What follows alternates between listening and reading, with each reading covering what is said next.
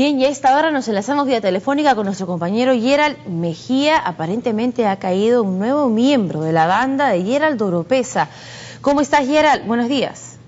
¿Qué tal? ¿Cómo estás, Alejandra? Para confirmarte la información, eh, esta mañana, al promediar las 7 de, de este día, en el inmueble del Girón 9 de la cuadra 430, la policía intervino una casa en el tercer piso donde se logró capturar a Ángelo Renzo Espinosa Brisolesi, alias Rencito, y a su padre Luis Espinosa Oroche. Junto a ellos también fueron capturados otras cinco personas. Según información, dentro del inmueble se habría encontrado armamento y gran cantidad de droga. Hasta aquí ha llegado eh, efectivos de la Dirandro, la SUAT, que han estado a cargo de la operación, asimismo el fiscal, quien confirmó estas capturas Asimismo, también en otro inmueble, según tenemos eh, información, en la calle Cabellini 370, aquí en el distrito de San Borja, fueron capturadas otras tres personas también involucradas en el caso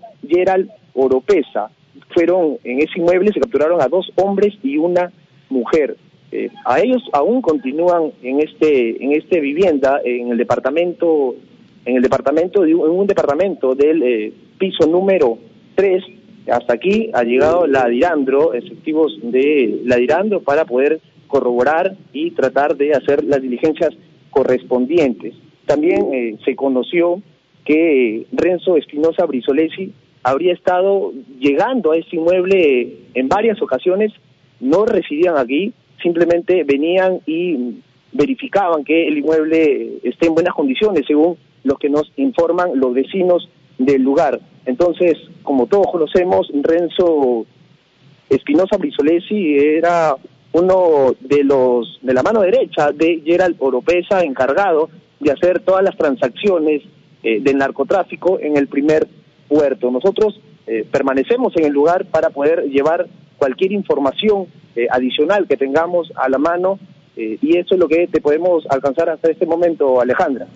Bien, muchísimas gracias a nuestro compañero Gerald Mejía. Entonces, el resumen de la información es que hay seis detenidos, se incautaron también armas de fuego y, bueno, recordemos que Renzo Espinosa Brisolesi, alias Rencito, eh, tenía una requisitoria por, eh, de la policía, ya que aparentemente se encontraba vinculado a el lavado de activos habría servido además de una conexión para la de drogas, según las investigaciones de la Dirección de Lavado de Activos de la Policía, para guardar inmuebles y ser un testaferro de la familia europea. Así que eh, esa es la información hasta el momento. Más adelante seguramente tendremos ampliación.